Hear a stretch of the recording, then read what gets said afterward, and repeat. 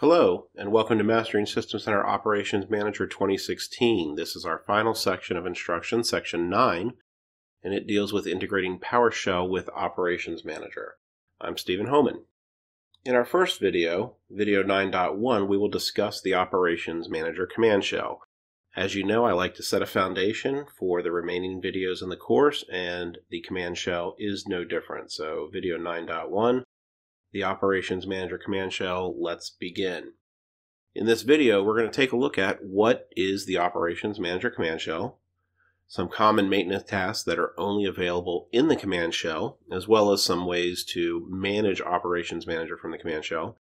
And then we'll discuss some advanced PowerShell script concepts for Operations Manager. We're only going to go into concepts here because in video 9.3, we will actually tackle a real world scenario based on our concept we discuss in video 9.1.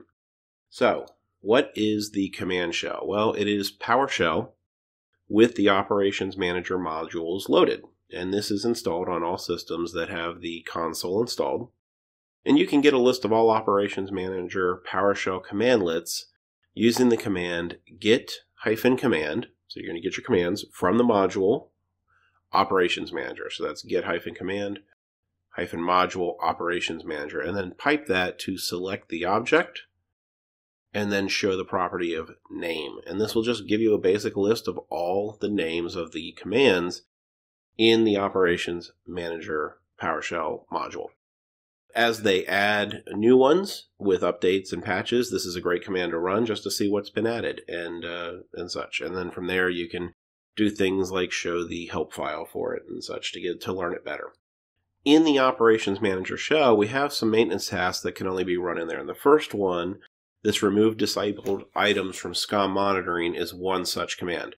So in the case of overriding discovery, and as we talked about in one of the previous videos, specifically things like SQL and IIS, when we import the management packs for SQL and IIS, it does its job in discovery by going out and finding every IIS or SQL instance in our environment, even the ones we don't want to monitor or the ones that are not prepared to be monitored because of configuration issues.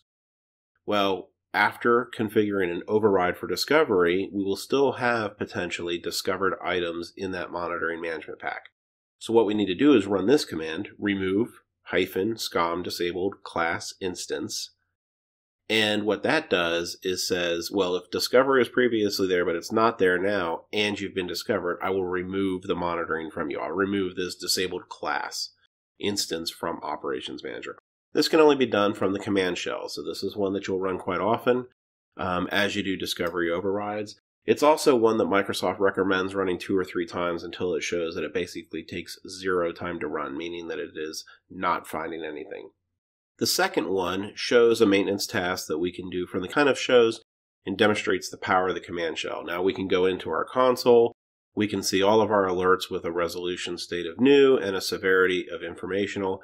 We can highlight them all, we can right click and we can say close. Or, if we're not overly concerned about keeping them in the console, um, after a period of time, we can go ahead and have a PowerShell script that will resolve all informational alerts created by a rule. And the first one is by a rule, and I will show you in the second part how to change that to ones that are caused by a monitor. As you know, as you recall from our previous video, there is a difference. So we're going to get SCOM alerts based on the criteria of resolution state equals zero and severity equals zero. So new informational alerts.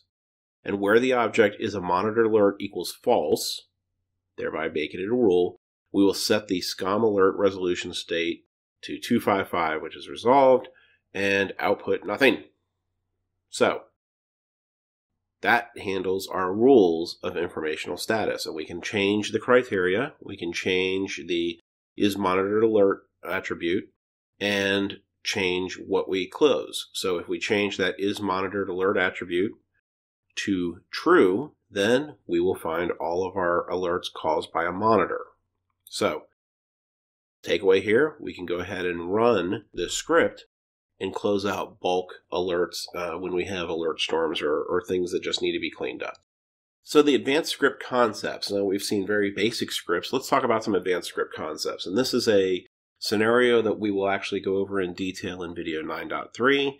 And this was actually presented by a blogger named Pete Zerger, who's a fine System Center administrator, and shares a lot of information. And this is from the System Center blog in on June 23rd of 2012, and you can find this online easily. But we'll talk about it real here right now as a as a concept. And so the concept here is that we'll automate the agent discovery and deployment of our agents with PowerShell. So the first thing we're going to do is run a script that uses um, the Active Directory and Operations Manager modules in PowerShell to identify computers in Active Directory without Operations Manager agents installed. The second script will use the same modules, the Active Directory and Operations Manager modules, to then install agents based on the discovery results output. And I like to uh, note, and Pete Zerger noted this in his blog, he likes to keep these as separate runs because we want to review the results on the first one. So when we get to video 9.3, this is exactly what we'll do. So, the Operations Manager command shell is a powerful interface to manage System Center Operations Manager. Some actions taken against Ops Manager are only available in the command shell, so you will need to learning more about the command shell should be near the top of the list for any Operations Manager administrator, as it will make your life easier in the long term.